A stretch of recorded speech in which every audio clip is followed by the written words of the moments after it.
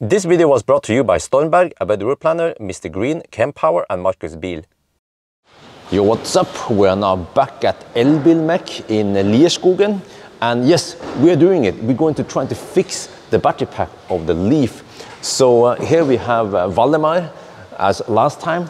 And then uh, Valdemar, you've been working on the Leaf a little bit. Yes. Yeah. So uh, a, a little recap here. Uh, this Leaf, we found that, to, that it had uh, somewhat significant degradation. Uh, It's supposed to be, maybe on this age, it's supposed to be roughly 16 kilowatt hour. I mean, we saw roughly 12 something kilowatt hour. So that's a bit low. Yep. But you have found the, the root to the cause, uh, root to the cause, or yeah, Yeah, I can, I, I can show you on the on the on the on the pictures. yeah. But before we do that, let me just, since we have the leaf up here, let's see now. So um, this is the first time I've seen it under here. So the battery pack has been taken out, and then uh, yeah, the battery pack was here, and it's just not sure what to, sh- to, to show you guys, but look here. You know, I got you know, when I saw this, I got some idea. What am I? Is can you guys figure out a way to put the put, put in some fans here, make it active cooling? Yeah, I think so. Is it possible? Then drill some holes, maybe like an inlet and then an outlet or something. Yeah, I think so. We can uh, we can build some some fans to to cool the battery pack. It would be interesting to see how efficient it will be. But also, of course, it's a matter of cost because uh, it takes actually a lot of time to take out the battery pack. So it, it should be some kind of quick fix, like drill it from above if it's possible, and then mount some mount some yeah, fans, and then connect to 12 volt or something. Uh, maybe just a manual switch would work actually. Yeah, I think so. Yeah. We can try to look at this possibility for fun. yeah but okay anyway so and then here all right uh, here's the goodie so over here we have the leaf battery pack and uh, maybe we should just dive into it what was the problem where do you want to start Valdemar? Uh, we can uh, start here. That uh, let me see. Where is those papers? there was some other pa- oh here here this one right was it this one Yeah, so we done a test with uh, um, Nissan uh, uh, Leaf Spy, and we found that at uh, let me see, even at uh, uh, 9.9 uh, state of health, uh, state of charge, the cell number one is uh, very very weak. Oh i never noticed that oh this is cells until 96 Uh, wait a moment, I think I took the wrong papers. Sorry. well you have so many of these screenshots Yeah, screenshots. I, I mixed it up. This is the right. Uh, this is 24 hour, 24 kilowatt hour. Uh, battery state of health was 64.48, and uh, the weak cell number one at uh, 3% of state of charge. Of course, state of charge is very low at this point, so you, normally you, you don't drive it so often uh, to so low um, uh, percentage. But uh, for testing purposes, for us, it's very easy then to, to identify which uh, cell is the or cells are uh, bad. So in this case, the number one is is very. now what was the other one we saw earlier is that another another car Uh, let me see if it's the same. yeah it's the same uh, yeah, it's actually VIN. the same okay car. just a different representation yes, different presentation. Different uh, charge. yeah, the okay. VIN number is the same. Yes, and the kilometers are the same. Yeah. Ah, okay. So it's the same. But you see, now I start realizing that um, the car wants to protect the, every cell, and if one cell is weak, then it needs to cut off and say, okay, that's the end. But then all the other cells are like, hey, we are good. We can Yeah. go more. Yeah. so which means that that's the weak link. So if you change that one, it might solve the problem. Yeah, I think it's very interesting to see uh, for us and to to viewers how much effect, how much bigger state of health will become if we change just one cell. Yeah. But okay. By the way, uh, so before that one, uh, you also talked to a friend who had another crazy idea.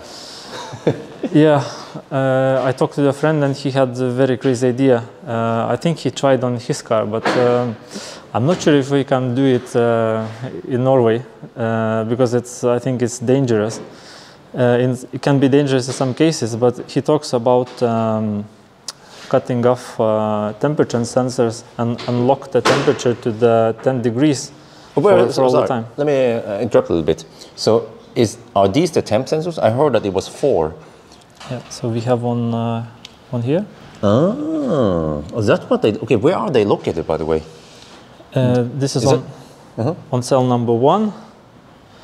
Uh, I don't know which cell number is. Uh, And this is the other one. Or? yes, yes, you're right. Then we have uh, one here, Mm-hmm. and then we have one on another side. Uh, let me see. Where's the last one? Here. Yes, over there. Okay. Also, th- this is, by the way, this is the, the leaf battery pack. So it, it consists of, um, well, it's th- this box, but one box contains two cells. Yes. So I counted 48 of these boxes and 96 cells. Yeah, we can see also here. Um, let me see where I seen it. That's uh, 48 models in total. Ah, okay. Ah, modules. And then this is a generic uh, diagnostic tool Yeah. for any battery pack. Uh, I don't know if it works on all battery packs, but um, it works on Leaf, on Tesla, on Kia. I don't remember if we tested on, uh, on others. No, it's pretty cool. It's, you can see lots of information here.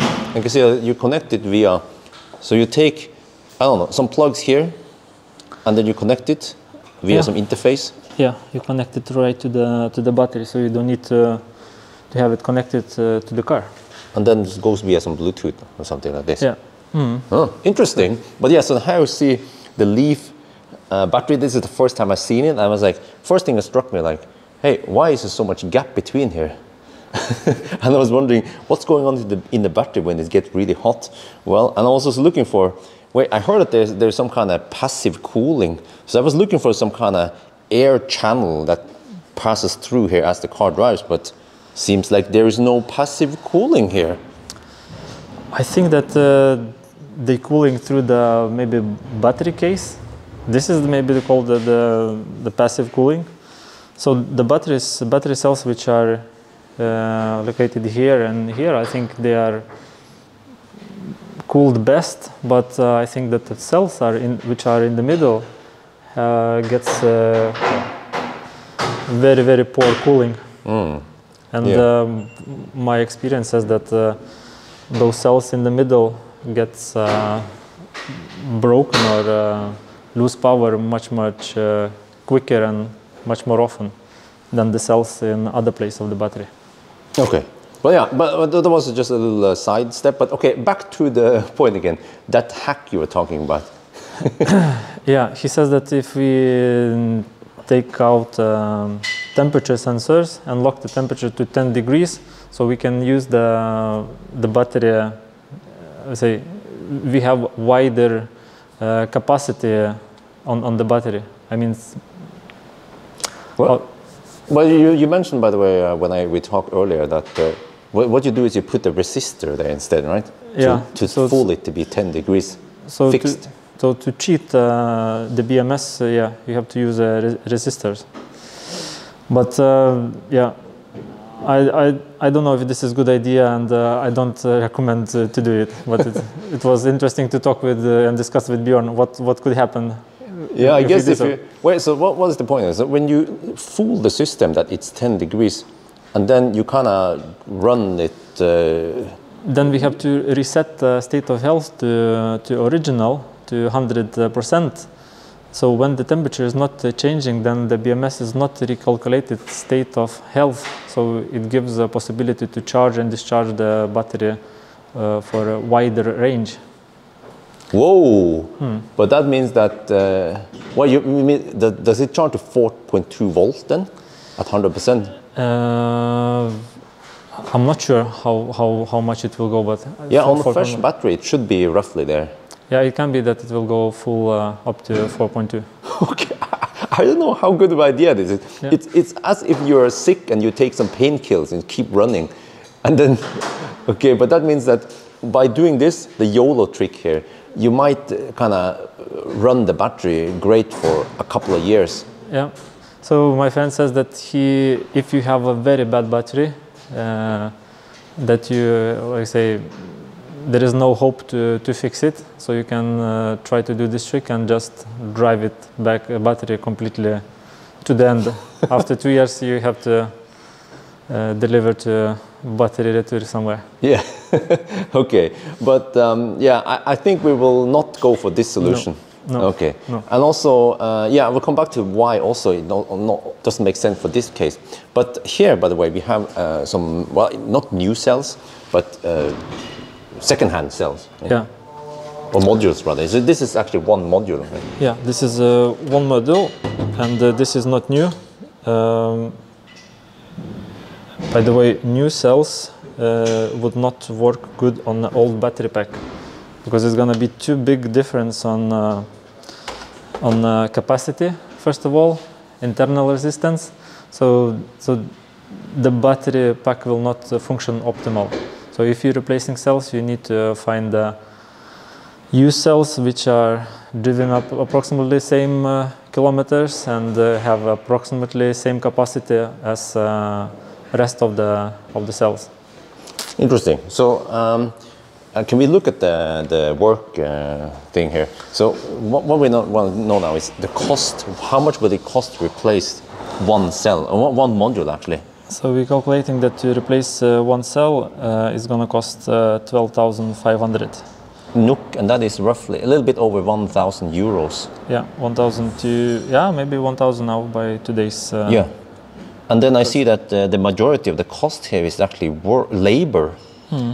Uh, yeah. And then the cell. Uh, uh, yeah, okay, so 1800, uh, is that before VAT? Yes, before VAT. Okay, so roughly 2,000 NOK for the cell. Oh, sorry, the, the module. Well, actually, when it says battery cell, it's actually two cells. right? Yes, it's Yeah. just a one mod battery module. Yes, that's correct. So you see here that here the cost oh, is kind of expensive for the car, but just to show that the majority here is, is for taking out the battery cell and I mean sorry taking out the battery pack and, and then putting it back again. So if you would do that hack, you will also have to lower everything and take out this one. Yeah. So the the price for that uh, that kind of YOLO hack would probably be ten thousand at least. Yeah, approximately that. Yeah.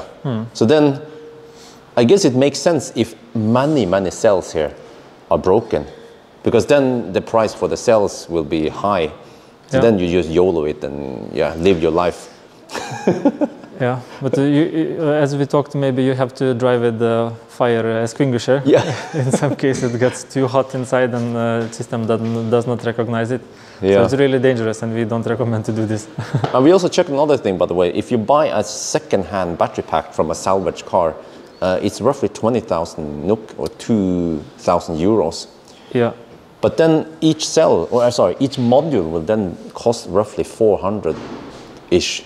Uh, Four, yeah, 400 NOK only. yeah. This is uh, this this is this is correct. So So why, why are these so expensive then? It's a reseller price. You know, the, the people are earning money. They buy the battery pack, uh, splitting them in modules, and, and uh, resell to to other people and to workshops as we. Yeah. So it's cheaper to buy the complete pack and maybe split with a friend or friends or somebody. if you have many cells which are broken. All right, so um, so which what we gonna are we gonna try to replace them then? Uh, Yeah, uh, we're gonna try to replace the battery cell number one, and uh, it's gonna be very interesting to see how much or how better capacity is gonna be uh, replacing just one battery cell. So as we know before, it was missing uh, four uh, pricks on the on the dashboard. Yeah, dots, yeah. Dots, yeah. So after replacing uh, one cell, we will reset state of health to 100%. So all the 12 bars will be back on the place.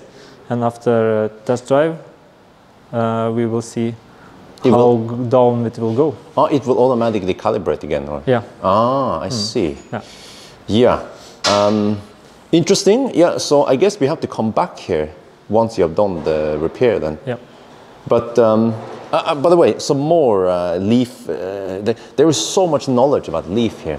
Um, after the, the first video, lots of people commented that you know this leaf here uh, is the first generation. It, it was supposed to be I mean, it was registered in 2013, but it is actually a 2012 Leaf. So many people also commented is that, uh, you know, when you're looking for a second-hand Leaf, you can, if you go to the trunk and you see this big chunk here, this is actually the onboard charger. Yes. And it's only, wait, how? And it's only 3.3 kilowatt. Yeah. How, why is it so big? Do you have any, have you seen inside this before? Yes. Uh, I cannot explain why it's so big, but uh, but yes, this is true. 2012 model, it's a 3.3 charger, and uh, from 2013 you have uh, uh, OBC in the front of the car, and then you have a 3.3 or 6.6 kilowatt uh, onboard charger. So that means that actually, if, if you are just like a regular consumer uh, and you're looking for a Leaf, even though it says 2013, you can just open the trunk and see if you have this big thing here. If it's not there, then it means it, it's actually the, the new version. Yes. Right? And the other things you can identify with the new one, this is the old one, by the way, is that the new version, or the old one has white, white-ish seats. Uh, well, they used to be white. and also, uh, so the, the new version has black seats or black interior, is that? Yeah, then you can choose with like skin interior or uh, yeah. But, but, but does it mean that this, this white, bright interior only exists in the old one? Yes. Uh huh. And the last thing in here, at least, you see that it has this electron. Oh, wait, this uh, this uh, what do you call it? Uh, park brake. Park brake switch. Uh huh. On uh, on uh, 2013 model, we have uh, uh, foot brake. Okay. Instead of that one. Parking brake. Yes. So it means that that switch is gone in the new one. yes, it's Uh-huh. gone. Uh, and then one last thing you can also check, which is actually important for Norwegians, is that under the hood, uh, this one does not have heat pump, so it's only PTC. Yes, only PTC uh, water uh, heater, and on 2013 model you get uh, varmepumpe with uh, like Mm-hmm. ele- electric heater. So actually, many many things uh, about this one here. I mean, it just screams, "Don't buy it." Uh, you you kind of need to identify and figure out whether it's worth it to buy it or not. But another thing I will show you, by the way, if you look here, this is the battery case, and there's a part number on the battery case here. And what you look for is the, the last letter. So if it's A, A is the, um, the, the, the first generation, uh, which is the 2012. And then B and C or whatever was the next generation, which has actually better battery. And then if it says a 3 there or an E or whatever I think it was, then it's the Lizard battery, which is a lot better.